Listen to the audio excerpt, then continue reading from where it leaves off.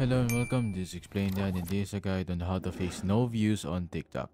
So open up your TikTok, then go to your profile tab and just tap on the three horizontal lines and then settings and privacy. In there, you'll be able to see the creator portal and follow the guides if you're not finding the good content creation one.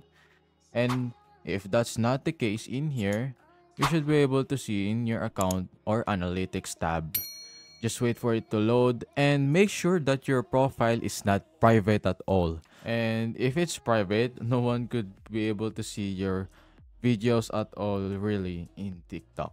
So just set it on public and that should be it.